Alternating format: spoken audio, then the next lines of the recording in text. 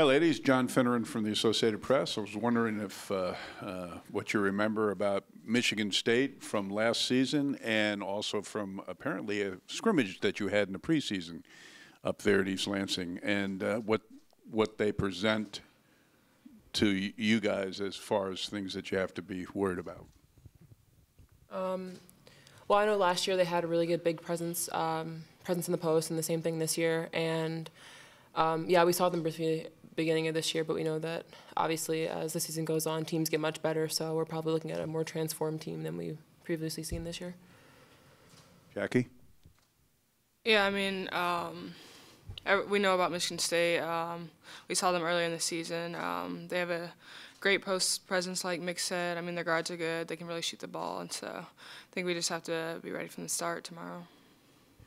Jackie, you played uh, um, the girl from Bedford, uh, North Lawrence, who's on Michigan State. Talk a little bit about her and uh, what you know about her uh, from AAU high school days.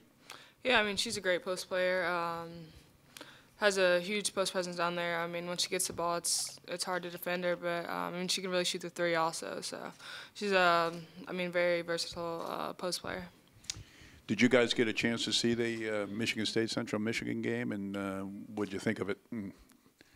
Uh, really hard game, really close fought between both teams, and we just thought that, or I just thought that Michigan State they um, they utilized their pieces better and were smarter towards the end of the game. So we have to make sure that hopefully we can pull away, but if things do get close, that we just play smart. Jackie? Yeah, I mean it was a it was a close game the whole time, and um, I mean both teams really came out uh, playing hard. They knew it was on the line, and Michigan State was just I mean able to pull it out, and um, I mean they're going to be fired up and ready for us tomorrow. So I think we just have to um, just be focused and ready to go. Jackie, uh, talk a little bit about Micha- Mikayla's play yesterday and uh, what she's done lately, uh, coming off the thing, coming coming back, what she's contributed to the team. Yeah, I mean, um, she's a great rebounder. She came in and had uh, nine rebounds and um, a lot of putbacks. Um, she's just a good post presence for us down there. She can block shots, she can finish. Um, she's a great communicator, and so having her out there has helped us a lot. You played with a lot of joy yesterday. Talk a little bit about your play yesterday, would you? Um, I was just happy to be back out there. It was my first tournament game. Obviously, I didn't play much last season, so just being able to kind of feel like I'm getting back to where I want to be and hopefully to even transcend that, it was exciting. Thanks. Anthony Anderson, South Bend Tribune. Hi, Mick. Uh, in following up on your game yesterday, uh, Bree, in here after the game, sounded so genuinely tickled about watching you play well. I wanted to ask you what, what she's meant to you as a mentor in the same position, and uh, uh, uh, and it, and how, how again how it just felt because it was your first tournament game. Um, like I said, I was just really excited to be able to get back out there and obviously play. Like, not everybody gets to play in a tournament game, so it's obviously a treat.